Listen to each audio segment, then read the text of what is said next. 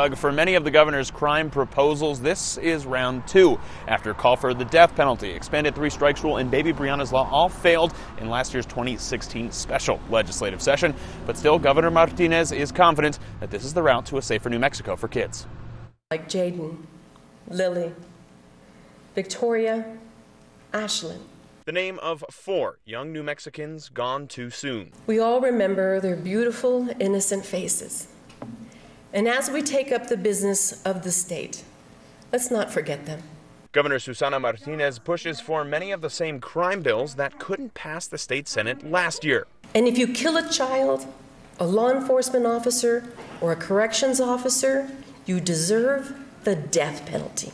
And expanding past crime bills aimed at protecting children. If you intentionally abuse a child and that child dies, regardless of that child's age, you should never, ever get out of prison. And along with protecting those kids, educating them. At least 96% of those third graders who cannot read are being passed on to the ne- next grade.